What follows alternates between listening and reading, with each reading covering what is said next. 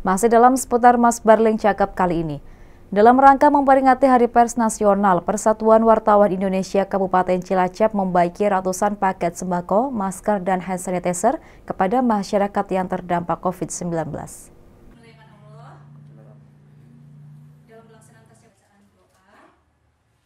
Puncak peringatan Hari Pers Nasional Persatuan Wartawan Indonesia Cilacap membagi ratusan paket sembako, masker, dan hand sanitizer kepada masyarakat yang terdampak COVID-19. Peringatan Hari Pers Nasional PWI Kabupaten Cilacap tahun 2021 diawali dengan tasyakuran pemotongan tumpeng oleh Ketua Panitia Adi Purwadi selanjutnya diberikan kepada Ketua PWI Cilacap Muhammad Sobirin dengan ketat protokol kesehatan. Paket sembako dibagikan kepada masyarakat yang membutuhkan dan terdampak ekonomi pada saat pandemi, khususnya warga di lingkungan anggota PWI Cilacap sekaligus mensosialisasikan dan menggugah kesadaran masyarakat agar disiplin terhadap prokes. Pembagian paket sembako bertujuan untuk memperingan beban warga terdampak COVID-19 dengan cara door to door.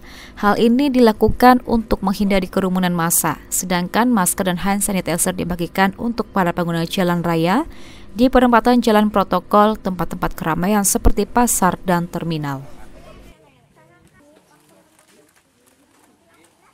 Saya senang dapat bantuan dari bapak-bapak wartawan sama Pertamina ya mbak. Anu ya yang sering-sering aja kayak gini. Jadi nggak bingung kalau istilahnya tuh cari sesuap nasi lah. Saya senang, saya bangga punya wartawan seperti bapak-bapak sama ibu-ibu. Dari Cilacap, Ramiana Banyumas TV melaporkan.